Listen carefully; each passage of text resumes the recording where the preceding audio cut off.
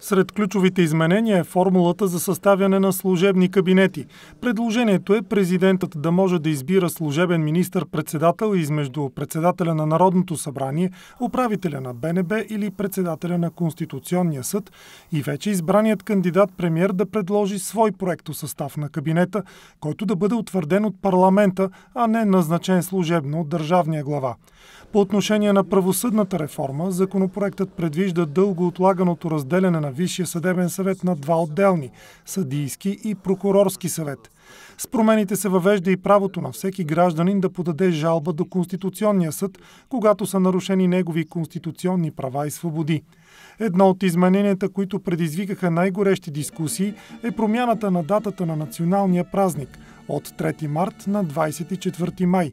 По темата няма единство дори сред представителите на управляващата коалиция. След разглеждането на конституционните промени в ресорната комисия, първото гласуване на проекта в пленарната зала ще бъде в края на седмицата. По същото време се очаква и становището на Венецианската комисия по промените. Гласовете на вносителите няма да бъдат достатъчни за приемането на измененията чрез бързата процедура, тъй като са необходими две трети от народните представители или 180 гласа. Ако подкрепа липсва, гласуването ще бъде отложено с поне два месеца, което е най-вероятният сценарий.